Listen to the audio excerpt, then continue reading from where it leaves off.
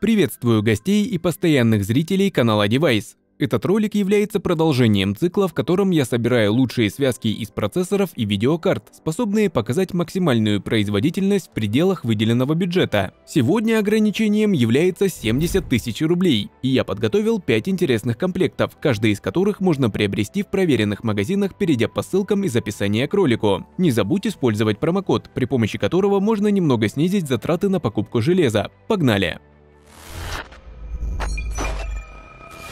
Забегая вперед, скажу, что все карточки, подобранные для сегодняшнего ролика, имеют поддержку трассировки лучей, поэтому особо задерживаться на этом не буду, уделив время более важным моментам. Первый комплект можно назвать одним из самых сбалансированных за эту цену. Я предлагаю использовать процессор Ryzen 3 Pro 4350G в связке с видеокартой RTX 2060. Да, этот графический адаптер явно нельзя назвать новым, но он все еще способен показывать отличные результаты в большинстве современных игр, если не выкручивать настройки на максимум. Кстати, в конце видео будут сравнительные тесты, которые и помогут понять, насколько та или иная сборка на самом деле хороша. Выбранный процессор позволяет не упираться в предел сегодня сегодняшнего лимита, поэтому часть сэкономленной суммы можно будет израсходовать, к примеру, на более емкий накопитель или дополнительную планку памяти. Если хочешь регулярно смотреть видео с подобными подборками, обязательно подпишись на девайс и нажми на колокольчик, так ты не пропустишь интересные циклы роликов, выпуски с новостями и еще много полезной информации.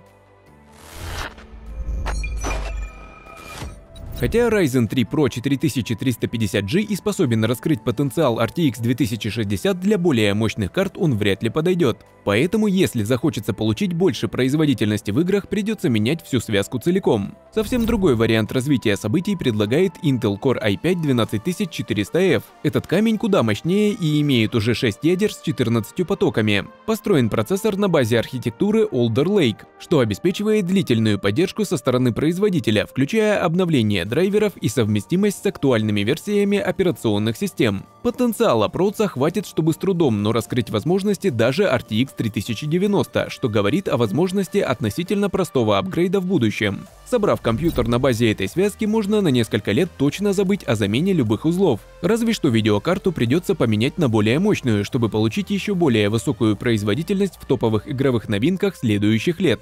А какой элемент сборки, по твоему мнению, должен обладать большим запасом производительности – процессор или видеокарта? Напиши об этом в комментариях.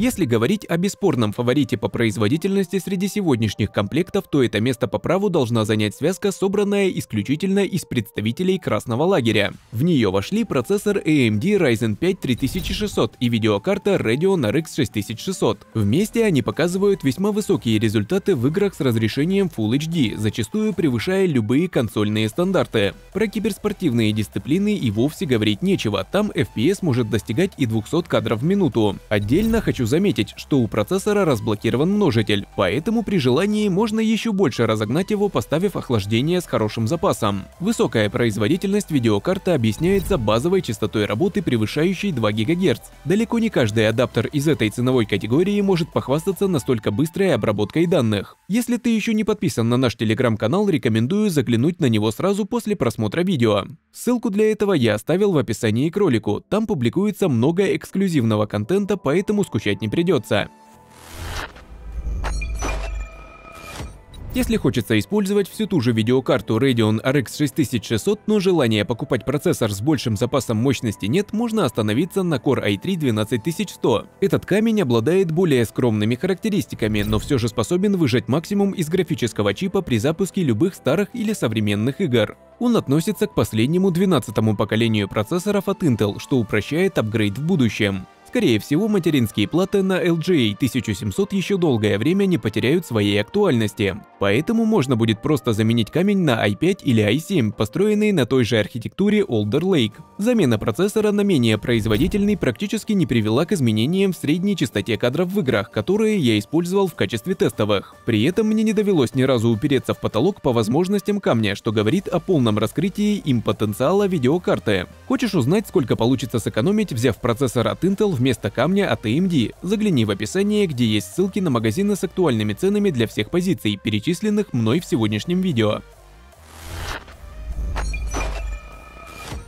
Закрывает сегодняшнюю подборку топовых связок комплект из камня Ryzen 7 5700G и видеокарты RTX 3050. Я заведомо использовал в этой связке процессор, который можно назвать одним из лучших и наиболее производительных в выбранной ценовой категории. Эта сборка изначально планируется как оптимальная база для дальнейшего апгрейда. Процессор раскрывает все видеокарты вплоть до RTX 3080 Ti и RTX 3090, и это без разгона. Поэтому у него есть все шансы справиться с некоторыми моделями из нового поколения графических адаптеров, которое должно быть представлено в ближайшие месяцы. В данный момент он позволяет использовать одну из самых свежих и относительно недорогих видеокарт, доступных на рынке, чтобы запускать популярные игры без особых проблем. При разрешении Full HD она чувствует себя вполне комфортно даже в довольно требовательных играх. Вдобавок, если впоследствии видеокарта поменяется на представительницу последнего поколения, более свежую RTX 3050 будет проще продать на вторичном рынке, чтобы вернуть себе часть вложений.